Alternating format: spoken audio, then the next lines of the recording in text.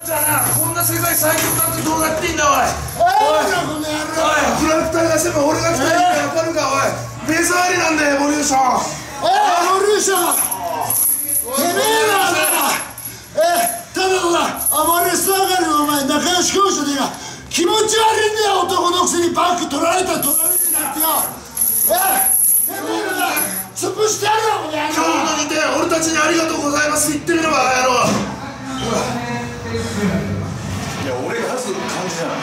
いけるんじゃないいやいけるんじゃなくていける。んじゃないこれはいけるぜじゃないこれ完全に仲間なのよ何に走ってますかいやいやいやいやいやてるよほら優勝だよし優勝だよし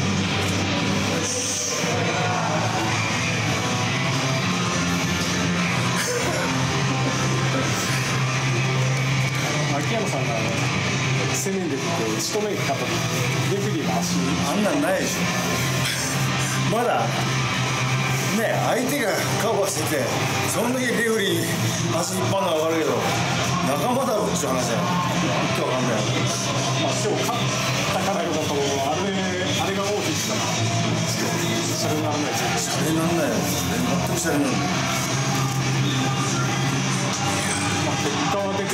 またちょっと不安が大きくなって不安だらけですよこれがもうね優勝候補とか言われてるやつだとなったらまあでももういないのかあとは誰だ？ワイドです。まあワイルドはこの前の感じにも勝ってるから。いやでもちょっとやりづらいな。俺のペースじゃないね完全に。それがやりづらいですね。完全に歌詞のペース多分歌詞の俺のペースは歌詞絶対無理だから。や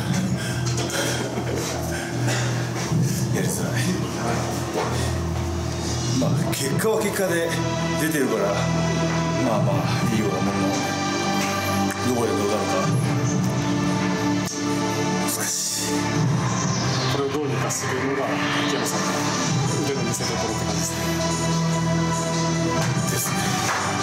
しかないしまあもしかしたらプロレス生活24年25年目一番難しい局面。かもなまあ頑張ります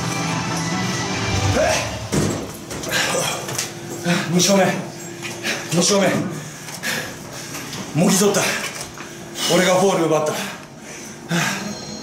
バックドロップじゃなく膝だこの膝大物たちをこれからもどんどん食っていくっていう意味でジャイアントキリングそう名付けます。ジャイアントって全日本プロレスらしいし僕自身がもっとジャイアントな男になって相手をどんどんどんどんこの膝で下から突き上げていくように。これからも倒していく。絶対に。そうそう俺ら一言で言えばもちろん優勝しかないでしょやったぞ大森さん。あ助かったよ。やったぞやったぞ。あそこからよ。でかい体で右側にスッと助けに入ってきたからいや違え大森さんよそれよりは今日初めてボディがあさあ全速組ですよあ初めて当たったんですよ朝毛さああんな化け物が感想はよあんな化け物がいるんですかあいるからにあんな化け物あ当たってみて。肌に触れて感じましたよ。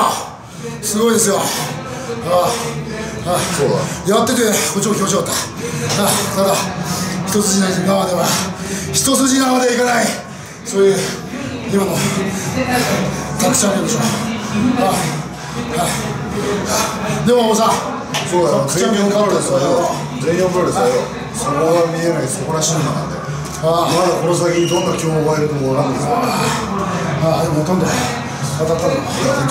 ゼウスボディが本土氷山の一角だいやでもとんでもね大森さん次第大森さん次第って言ってきたでしょ。ああああ今日大森さん成果出したじゃないか。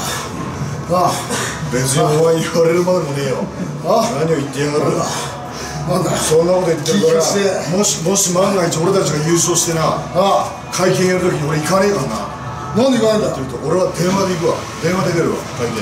そんな来てるあのマスコミに失礼だろ電話で十分だよお前なんかもふざけんじゃねえよ。なんで電話に謝れ。よ電話に謝れよあとで電話で言っとくわお前。電話電話に電話どうすんだ。よ電話に電話どうすんだ。よまあいいや。とりあえずこのまま突き進みますよ大森さんも今日勝てて嬉しかったんでしょあの人恥ずかしがり屋だからですからねあんな体でかいのに。全く